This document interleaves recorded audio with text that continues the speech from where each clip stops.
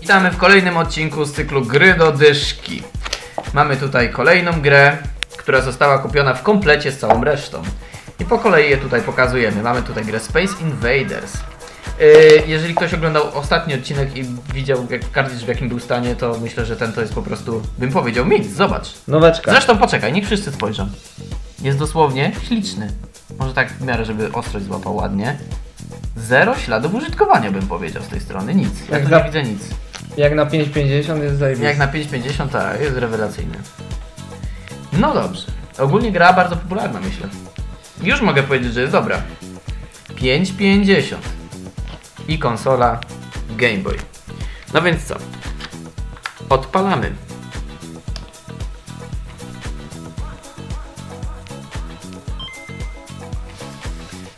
Myślisz, że będą takie emocje jak ostatnio?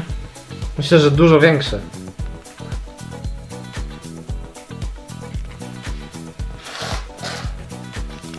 e, push start pushuje e, versus albo jeden, no jeden round one no stary, no jak to może być złe, no proszę cię Co to są te czarne bloki takie? no ja to zabijam grałeś kiedyś w muchy? mówiłeś, że grałeś na Pegasusie No tam grałem. były takie muchy i się w to No, strzelało Galaxy było. no, no Galaga, no to to podobne takie Space Invaders, chyba jedna z najbardziej popularnych gier na Atari to było hmm?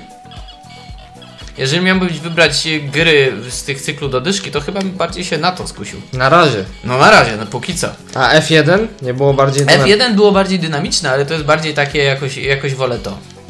F1 było droższe.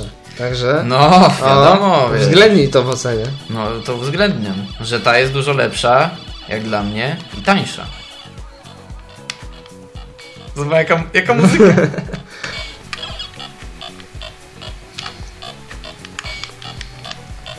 To czarne coś to się rozwala, rozumiem, tak? To jest twoja Ta, blokada, ta. czy co to jest obrona? No, no takie coś, no.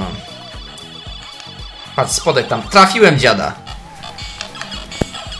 Ach, szlak by to trafił. Patrz, idą do mnie, myślę... Coraz... Kurde.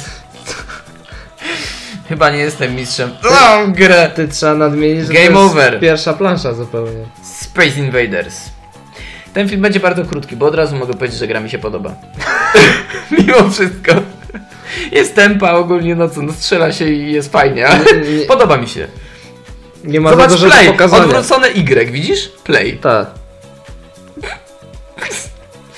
Mm, mystery, points, points, points. A, bo one są różne. Zapomniałem dodać, to zobacz. Widzisz, taki kiepek to jest 10, 10. punktów, taki to jest 20, taki to 30. Natomiast A ta najwyższa straka to co ile e, to to jest? jest e, mystery, który nie wiem. Natomiast ciężko jest je odróżnić. Naprawdę, jest ciężko je odróżnić tutaj, jakie tutaj widzimy. Na pierwszy rzut Jaka oka są wolna, wszystkie jaka takie wolna same. muza najpierw? Tak, ale zobacz, jak trzeba szybko ich tutaj ogarniać, żeby w ogóle nie zabili cię. Tom, tom, tom, tom, tom, tom. Jeżeli nie macie co robić w autokarze, to myślę, że ta gra będzie ciekawa, tylko pewnie szybko się znudzi. Zawsze mają sport, Ale tak? później ten dźwięk, ten. Będzie wam się śnił po nocy. Tam, tam, tam, tam, tam, tam, tam, tam.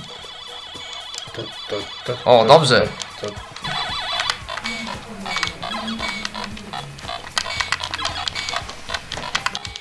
Tego dziada chcę trafić, ale mi ucieka. Och, szlak. Oj.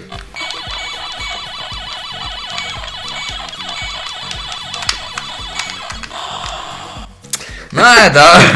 Zawsze są wybuchy. No dobra, pierdziaku elegancko, więc co, myślę, że jak na 5,50 to całkiem nieźle. Jak na... Jak na gry do 10 zł. Tak. Miejmy to na uwadze, ponieważ jakbym miał dać więcej, to bym po prostu wybrał na przykład to. Ale że mamy budżet do dychy,